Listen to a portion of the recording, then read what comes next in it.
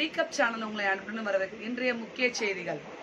அயோத்தியின் சரையு நதிக்கரையில் பதினெட்டு லட்சம் விளக்குகள் ஏற்றி வழிபாடு பிரதமர் மோடி தொடங்கி வைத்தார்.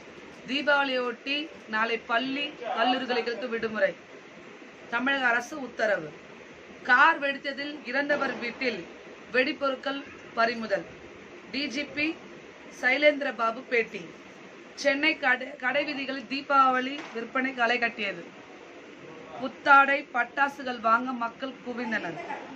ஆவடி போலீஸ் கமிஷனரகத்தில் போக்குவரத்து போலீஸ் அமைப்பில் கூடுதலாக ஆறு பெண் வார்டன்கள் இணைப்பு. போலீஸ் கமிஷனர் பாராட்டு சான்றிதழ் வழங்கினார். ஒன்பது ஆண்டுகளுக்கு பிறகு திருத்தணி முருகன் கோவிலில் அபிஷேகம் சேவை கட்டணம் இரு மடங்காக உயர்வு மக்கள் பெரும் அதிர்ச்சி. தமிழகத்தில் புதியதாக ஐம்பது சுகாதார நிலையம் அமைப்பு. அமைச்சர் மா. சுப்பிரமணியன் பேட்டி.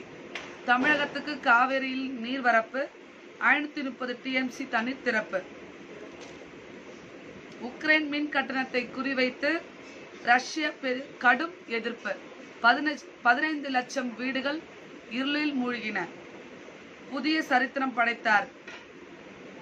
ஜின்பின் பதவிக்காலம் மேலும் ஐந்து ஆண்டுகள் நீடிப்பு. விளையாட்டுச் செய்திகள். பரபரப்பான ஆட்டத்தில் கடைசி பந்தில் பாகிஸ்தானை வீழ்த்தியது இந்தியா. விராட் கோலி எண்பத்தி ரெண்டு ரன்கள் விளாசி அசத்தல். அயர்லாந்தை எளிதில் வென்றது இலங்கை. இத்துடன் செய்திகள் முடிவடைகின்றன. செய்திகளை தினந்தோறும் அ- அறிய டீ கப் சேனலை சப்ஸ்கிரைப் செய்யுங்கள். அரசியல் பேசுவோம். அரசியல் சார்ந்த விஷயங்களை நாமும் அறிந்து கொள்வோம். நன்றி. வணக்கம்.